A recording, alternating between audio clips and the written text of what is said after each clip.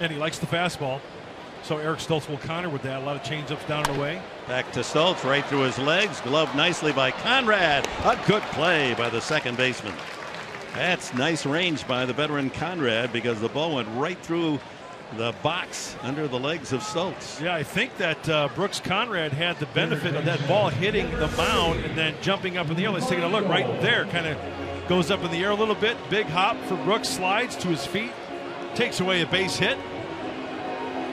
Nice athletic play.